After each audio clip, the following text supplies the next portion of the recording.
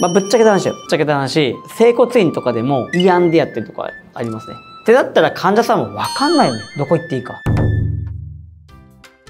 はい。生体婦科院長で理学療法士の松田啓太です。動画のいただきありがとうございます。このチャンネルでは3件以上の整骨院整体院整形外科に通っても痛みが改善していないそんな患者さん向けに撮らせてもらっている動画になります。ぜひこの動画で根本的に解決してみてください。松田さん。嫌です。まだ何も言ってないです ほんまそうね。なんかはいはい。街歩いてるとうん。もう整体院とか、整骨院とかうんう針んとか、はいはい。ストレッチみたいな。はいはい。もういろんな種類の治すお店みたいなやつがあるじゃないですか。あるね。あるね。はいはい。あれって一個一個うん。何が違うのかな、あーはいはいはい。まあ結構だから俺も整体院やってるじゃないですか。はい。いや言われるんですよ「え保険使えるんですか?」みたいな「はい。使えません」みたいな。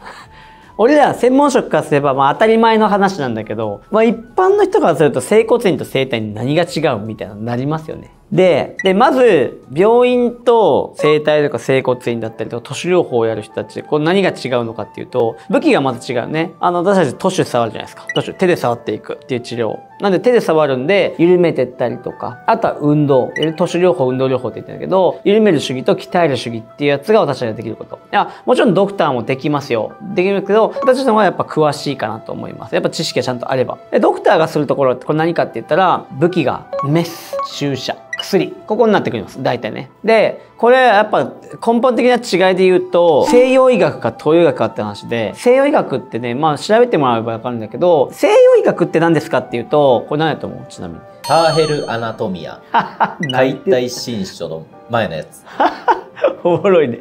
そんな、そんな変な知識持ってんの？えっとね、西洋学っていうのは、まあそうそう、解体新社とかあの辺からスタートしたから、1600年代ぐらいかな。が今入ってきて400年ぐらい経ったんですよね。で、あの、何が西洋学ってメインかって言ったら、まずそもそも患者さんがよく言う言葉で言うと、その場はいいんだけど病院行くと、また痛くなっちゃうんだよねって言うんですよ。じゃあこれ仕事してないかっていうと、ちゃんとしてます。西洋医学の観点からすると。何かっていうと、西洋医学って痛みがある場所を取り除いていく。痛みを取り除こうっていうのが考え方なんですよ。だから腰が痛いで腰を治療しましょうっていう直接的なアプローチが基本的には西洋学の考え方。痛い場所を排除していきましょうって話。ね。ただ、私の動画見たらわかるけど、腰が痛いって腰が原因じゃなくって、お尻とか、いろんなとこが原因なんですよね。って考えた時に、いや、これって、その痛い場所だけで治るのって話なんですね。だから私たちがやってるのって、運動やったりとかって何してるかって言ったら、やっぱ根本的に解決してるんですよね。根本的な解決する時。で、東洋学の考え方がこれに近くて、何かっていうと、痛みの原因を見つけて、そこに対して治療しましょうって話です。なると、痛みの場所取りましょうと、痛みの原因を取りましょうって、これ全然違うじゃないですか。で、病院はどっちかって言ったら、どっちですか？痛みの元元っていうかその痛み自体をそのまま行きましょうっていう方その通りですね。そうそう。痛みの直接アプローチしましょうっていうのがこれ西洋学の考え方。でなってきた時に、じゃあ私たちはこの根本的にって話ね。で、まずここが違うんで、えっと、痛みに直接、ここがおかしいな、痛みが起きてる場所に直接おかしいなってことが診断できると、これは西洋学の観点になります。何かっていうと、腰が痛い。レントゲン取りました。腰が折れている。もしくは腰が狭窄症が起きてる。ヘルニアが起きてるって場合は、これ西洋医学の対象になります。逆に言うと、腰が痛いって言って腰をレントゲン取ったけども、ほぼほぼ変形がないってなった場合は、これ、レントゲンに映ってない場所。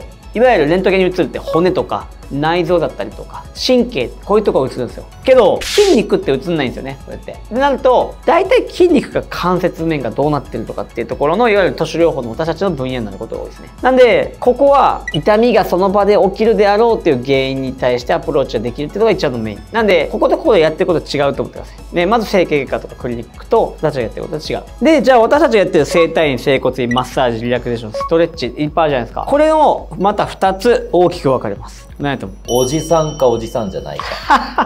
それやば。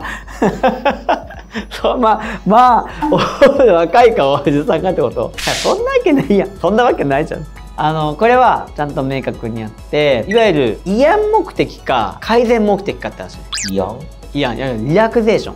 あリラクゼーションのだからリラクゼーションっていうと1時間といくらみたいなマッサージ的なところとかあとはエステとかもそうですねーでストレッチがちょっとどっちか分かんないですけど慰安に近い目的であれば慰安に近い。いわゆるリラクゼーション。リラックスしたくて行く場所はこっちです。でもう一つが改善目標。改善したいってところなんでここは整骨院だったりとか整体院っていうのはどちらかというとこっちのことが多いです。だけど、まあ、ぶっちゃけた話よ。ぶっちゃけた話。ぶっちゃけた話。整骨院とかでも慰安でやってるとこありますね。整骨院ってだって保険効くじゃないですか。しっかり治療しないといけないんだけどまあまあまあいろんなからくりを使いマッサージだけしてというか考えずにこうやって「あお疲れ様でした」みたいなとこは多いですね。実際少ないか多いかって言ったら多い方だと思いますね。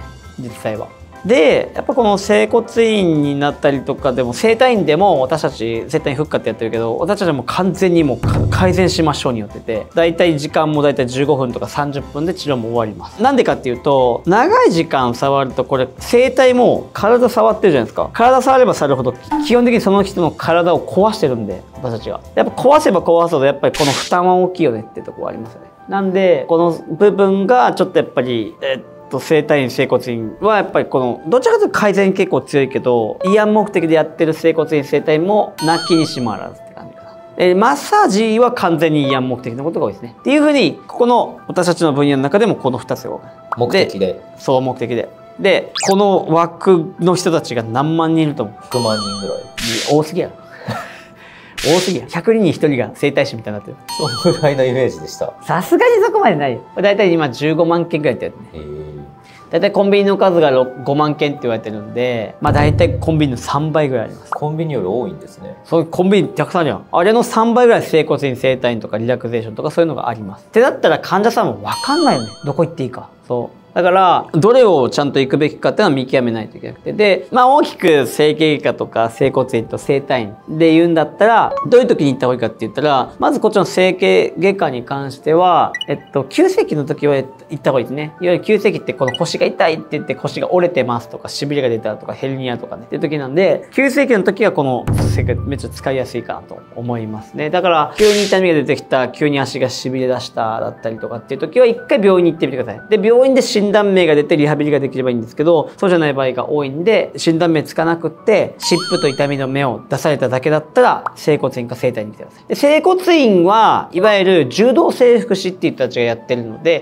これは保険が効きます。整体院、リラクゼーション、マッサージ、これは、あの、基本的に保険使えないんで、自費のことが多いですね。なので、整骨院と整体院で言うと、もう一言で言うと、保険が使えるか使えないか。で、保険が使えるってことは全部がいいわけじゃなくって、保険が使えると、あの、安くはなりますけども、まあ正直改善しようと思ってやってる整骨院の先生がいるかっていうとあんまりない気がします。正直マッサージで終わって。だってこれ面白いんですけど治せば治すほど売り上げ下がるんですよこれ医療系って。なんでか。治したらもう来なくなるから。なので基本的には整骨院とかで、まあ、これ全部が全全部じゃないですけど私が見てる中でマッサージだけやってもうある程度でその場だけ良くしてまた通ってもらうっていう人たちもいなくはないですね正直なとこ。だからあのーまあここ難しいなと思いますけど整骨院整体院ってところも、まあ、保険が使えるか使えないかだけどあんまりこう大きく分けずにまあ正直人なんで誰がやるか次第で全然変わります中身も。なんで信頼できるところで言うとちゃんと説明をしてくれたりとか痛みをこうやって改善しますっていうような原因とかを見つけてくれてしっかり説明してくれるところっていうのは私個人としてはおすすめかなと。何も考えずにまあ寝てくださいっていうところ。まあこれは慰安目的のことが多いですね。じゃなくてちゃんと何々さんどうですかってまあなんか面倒くさくてもちゃんと聞いてくれるところはどういう症状があって顔なんですよああなんですよちゃんと聞いてくれるところはしっかり改善しようとしてるから。逆に来た瞬間あ寝てくださいって言ってるところはもうもう慰安目的。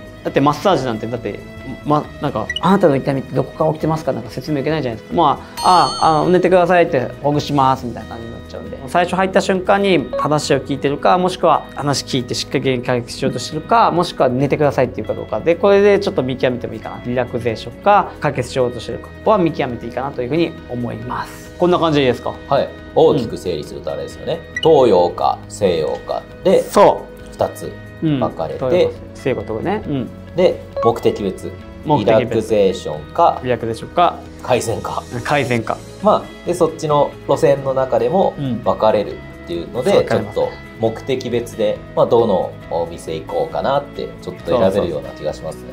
そう。なんであのーまあ私個人としてはまずは整形外科行っってみて大丈夫であれば整骨院整体院だけど整骨院もね結構リラクゼーションのことが多いんであのまあ正直もうどこに行くか次第なんでしっかり話聞いてくれてしっかり改善案だったりとか出してくれる場所はすごくおすすめかなと個人的には思いますこんな感じですか？はい。はい、ということで、あのーまあ、こんな感じでね、あの、整骨院、整体院とかやってます。私、整体院復活っていうのを全国でやってまして、10店舗以上あります。東京にもありますし、北海道にもありますし、えっと、福岡にもありますので、もしね、気になる方いらっしゃいましたら、整体院復活、あの、YouTube 見てくださった方限定でまた募集させてもらってるので、ぜひ概要欄の方チェックしてもらって、整体院復活の方に電話、もしくは LINE の方をやってみてください。問い合わせしてもらえばと思います。はい。あとですね、今日の話よかったらぜひチャンネル登録よろしくお願いします。あとは高評価、コメントいただけるとすごい励みになりますので、よろしくお願いします。じゃあ、今日はこれで終わっていきましょう。今日も動画をご覧いただき、どうもありがとうございました。また見てください。